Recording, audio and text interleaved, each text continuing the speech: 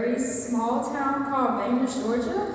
Um, it is very small country, southern, not much going on down there. Um, but I'll just tell y'all a little bit about like how my life was before Christ. So, like I said, I'm from Bainbridge, Georgia. My mom is a Christian. She still is a very devoted Christian. And she just taught me so much. And my dad is, um, he is from Mauritania, which is Northwest Africa. So he grew up in a Muslim household, a Muslim culture. But when he moved to America, things kind of changed. Um, his mindset, his values, his beliefs changed. So he's more on the agnostic side now. Um, and during my parents' marriage, like you can already see this tension of like being unequally yoked. Um, but I didn't really know a lot about what that meant. Um, so my uh, my mom like really just taught me so much about like Christianity. I was exposed to Christianity through her. Um, she would take me to church. I grew up in the church. I was always at vacation Bible school, always like going to Sunday school. So like I was I was in the church. So you think that everything was perfect. It was not. so when I was around five or six, my parents got divorced, and I just wasn't very, I couldn't understand what that meant at that age. And I was just like, you know, like, what is going on? Why is he, like, not in the house anymore? And growing up, I was very close to my mom, very, I just gravitated towards her a lot more. And I didn't dislike my dad, we just weren't very close. And when the divorce happened, I mean, there were a lot of things that led up to that, but when it happened, um, I had to get used to going to like two different households. So, like, for example, half of the summer I would spend it with my dad, and then the other half I would spend it with my mom. And it was just a very hard thing to like understand at that age. Um, but I started to notice like a lot of anger in my dad at a very a young age. And to this day, I don't really understand like where the root of it came from. I don't know what happened in his childhood to for him to have to have so much anger and bitterness and hatred in his heart. But when that divorce happened, that anger amplified, it got bigger. And my mom was not going to deal with it. They were divorced. His new girlfriend at the time wasn't really going to deal with that either. And I'm sure he didn't want to like show that side of him to her in this new fresh relationship. So then here I am as like a five or six year old child, very degrading, very hurtful. Um, so in middle school, I started to develop hate, bitterness at a young age. I was only like 10. Like a 10 year old shouldn't have these types of feelings. And as I got older, when I hit high school, this hate turned into rage, just like a deep bitterness, a deep rage. And mind you, I was in the church. I was just going to church normally, like on the outside, you wouldn't have never seen this because I didn't really express it. Mm. Um, so my, like I said, when I was in high school, all this deep anger and rage that I had, I suppressed it. Of course, I like told my mom, and my mom was there. Like she helped me out so much, and she's like, you know, this is how he is. Don't let him like scare you. But I, I was so sensitive and weak, so I allowed these things to scare me. And in high school, that rage and that bitterness just got worse. And it got it really got so bad to the point where I, I would have these mindsets of if something was to happen to my dad, if he was to die, I would not care. I would not care because I, I wanted a new dad. I was like, why do I have to get this dad? I was so jealous. I was I had a lot of envy in my heart because um, my friends like they had like two parents in the house. I'm like, I want that. Why can't I have that? And it, it was just like this deep hurt that I had. And like a lot of people, when we don't turn to God, when we don't we don't turn to Christ for um, help and comfort, we turn to other things. So when I was eight, I was exposed to pornography, and it actually happened at my dad's house, mm. and it was kind of my fault. I was always told to not look in, in a certain place in his room, and I looked in that certain place and found those those DVDs. And I just watched them and didn't understand what I was watching at that age, but it sparked a curious, uh, like my curious mind. So by the time I was 10, I was fully hooked. I was like, I knew what it was. I knew what pornography was. I watched it. I understood it. And at that age, I was, I had so much access to so much technology. I had a, a phone, an iPod, a laptop, computer at home, and these things were for school. But I was also using them for other things too. And in middle school, I didn't I understood why I was watching it. Like, it was interesting, it was different. But even though I couldn't fully comprehend it, I was just watching it. It was entertaining. And then when I hit high school, it started to take root as something deeper. It was an emotional comfort. It was hmm. something that I found just, it was an escape, really. Hmm. It was something that I could just go to when I was sad or angry and then by the time I hit college, pornography had rooted itself so deep into my heart that I turned to that before I even turned to God. Mm. And you would think, like, these are just videos. How are you turning to videos before you turn to God? And that's how blinded I was. And I was in college at Georgia State, and I was very depressed. I was still angry. I was walking around with a lot of hate, a lot of bitterness. And like I said, I was still in the church. Hmm. I would still come to church. Like in high school, I was in the FCA, and in college, I was going to the BCM meetings. I was playing in the orchestra. I was doing these things, hiding behind who I actually was behind closed doors. And hmm. by the time I, like last year, February, I was at the end of myself. I was only 21, and I was just like, I don't understand what this is. This had become such a deep rooted thing in my heart. Like, I didn't even think it was possible to live a, a life outside of pornography, outside mm. of hate, outside of, of unforgiveness. So,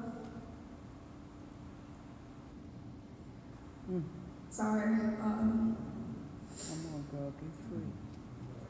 I was only 21, and I was like about to just start looking into that whole culture of like casual dating, hookups, having friends with benefits, because that's what that was, was that's what the, kids are doing. Like that's what people my age are doing, and I had friends who did it, and I was like, you know what, porn isn't enough. And I was about to step foot into that lifestyle. I was scared. I didn't know, like, what could happen. Like a lot of different things could happen, and I was terrified. But I was like, you know what? This is not enough. Hmm.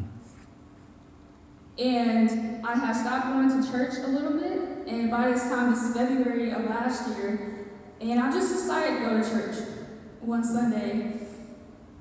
And Kerry Skinner was there, and he was preaching on repentance. Like I said, I grew up in the church, but I didn't understand what repentance was. I didn't understand the gospel. I didn't understand like the, the simple things, bearing fruit. What was that? I don't know. And and another key thing that I did not mention, so when I was 15, I got baptized. But it was a very insincere decision hmm. because I only did it because I saw other people my age doing it. And I was like, oh, maybe I should get baptized. Maybe things could change. And I thought baptism was what saved you. Hmm. So I got baptized with no clear knowledge of what baptism was. But I lied to myself. My mom was like, Are you sure you, you want to make this decision? I'm like, Yes, I know what I'm doing. And I was living in a life of deception. I deceived myself. I lied to myself. Um, so when I got baptized, nothing changed. If anything, I got worse. And that right there shows you like there was no true encounter with Christ because my heart was still in the same place. Mm. Um, so going back to February, uh, I went to church that one Sunday, and Kerry Skinner was preaching on repentance. Mm. And something that day, it like it. It made sense. And I was like, what? Like, this actually makes a lot of sense. And I began to feel the weight of my sin. Mm-hmm. And when I say feel the weight, I felt the weight. I felt like something was crushing me that day, and I just felt very like closed in. And like my immediate response was like, I really need to tell somebody about this. And Miss Darlene, I she's been there before, like all of this. So I, I actually did talk to her about it, but I think back then I wasn't very serious about changing. Hmm. I was still holding on to that. That was the only thing that I knew. So when I heard that, that sermon on repentance, it made sense. And I remember going to talk with um, Pastor T and Mr. Chris. And my, my intentions, I went in there to, to meet them, to talk to them about how can I get like practical steps to stop watching pornography. And I remember he said this so clearly. He was like, Your porn addiction is not going to go anywhere until you forgive your dad. Mm. I said, What? I came in here for practical advice on how to stop watching porn. What does my dad have to do with that? He has nothing to do with that. He's like, That has everything to do with that. Mm. And I remember he showed me the gospel using the three circles. And that it was the first time that the gospel made sense it clicked. I understood it. And T asked me that question like, on a scale of 0 to 100%, what is your percentage? Like, what do you, what percentage do you think is going to get you into heaven? And I was like, right now, I'm at like a 60. I don't, I don't know, it could go both ways. And for me to say that as someone who grew up in the church, like that's, that's a little terrifying. And after that, like I remember just once again feeling the weight of my sin. I felt that in that room, and I remember just crying out to God, like, God, I'm sorry. Mm. Like I've really been living a life of deception. I've been living to like trying to walk in the spirit, but then I'm also trying to walk in the flesh, and you can't do both. You cannot do both of those. Oh. And I remember just crying out. And like for the first time, when I was done praying, like I felt this weight just disappear. And I knew in that room something was different, something changed that day. Mm. And immediately after that, I began to be like discipled by Pastor T, Miss Cress, and Stacy Edmond. And they, I would meet with these three people weekly. And they will all tell they will all tell me the same message, and it's coming out of Matthew 6, 14 through 15. And it says, For if you forgive other people when they sin against you, your heavenly Father will also forgive you. But if you do not forgive others their sins, your Father will not forgive your sins. Hmm. And they all told me this. Now, they didn't know that they were telling me the same exact thing. But it was like when we hear a, a verse or a message over and over, God is like trying to get you to focus on something. Mm. And I remember I was still scared. Like I didn't want to forgive him. I was holding on to that. I blamed every inconvenience in my life on him. Mm. I blamed the way I was. And when I got saved in that room, something changed. My heart changed that day.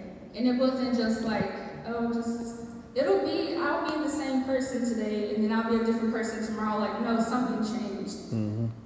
And then I got baptized in March, and it was a very sincere decision. And I remember how fast God was working in my life. So when April, by the time April last year came, I remember waking up one morning and I was like, I need to forgive my dad.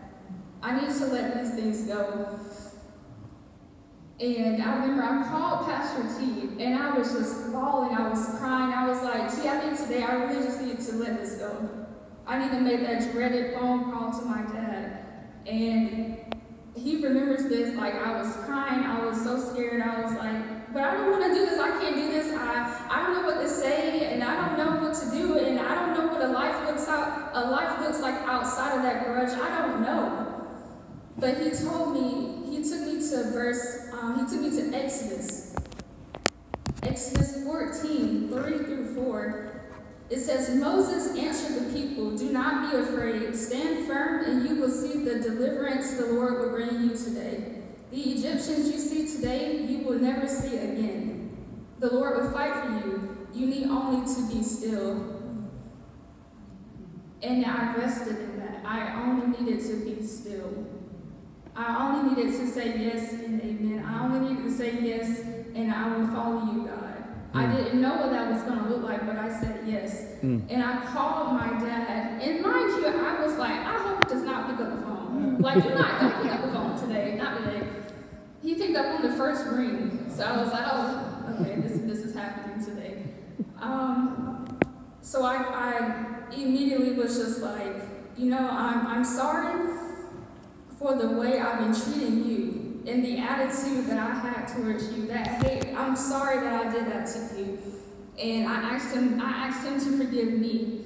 And he said, Well, why are you asking me to forgive you when I was the one who hurt you? Mm. And by the end of that phone call, my dad, who barely believes there is a God, was saying, like, I have never seen this type of love before. What is this?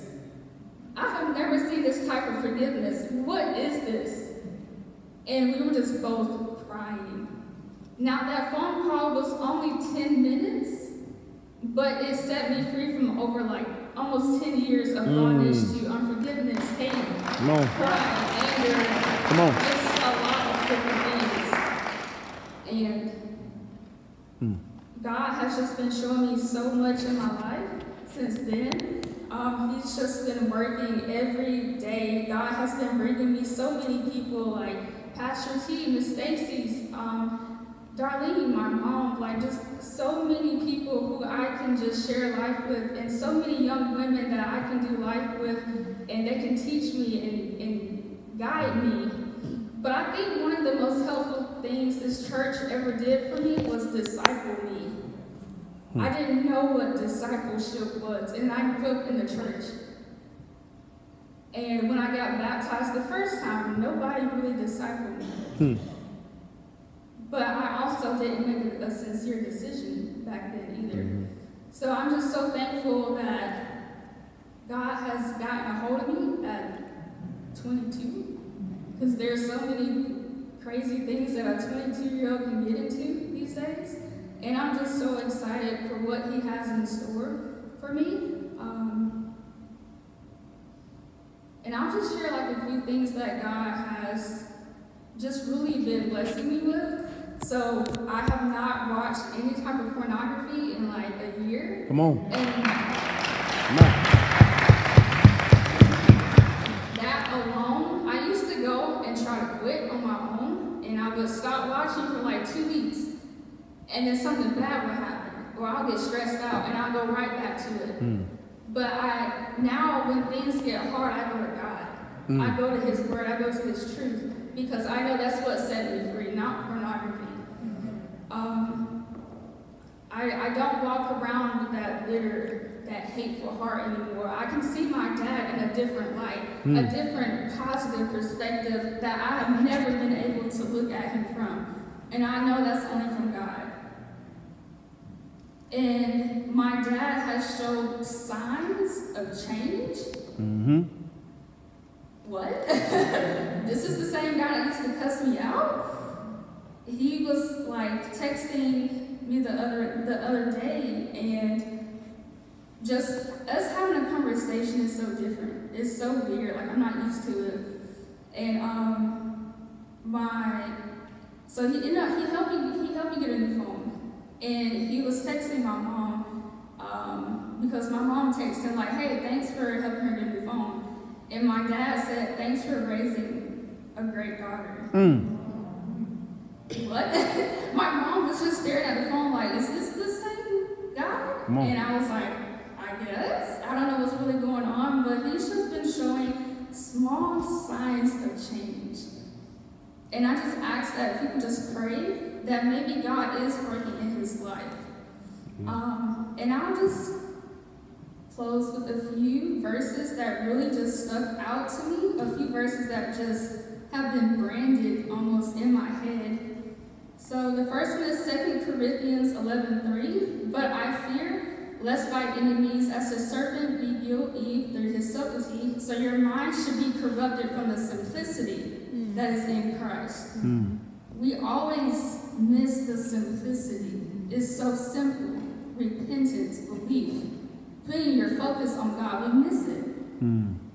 The second verse is um, Exodus 14, 13 through 14.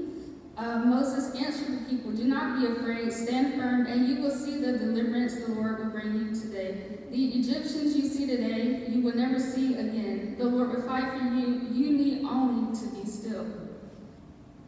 Galatians 1.10, Am I now trying to win the approval of human beings or of God? Or am I trying to please people? If I were still trying to please people, I would not be a servant of Christ. Wow. And then the last one is Romans 3, 22 through 24. The righteousness is given through faith in Jesus Christ to all who believe. There is no difference between Jew and Gentile, for all have sinned and fall short of the glory of God, and all are justified freely by his grace through the redemption that came from Christ Jesus. He didn't say you were redeemed from your work, from you trying to please God with your work. But here's my religious resume, y'all. I went to church every Sunday. I'm saved. No.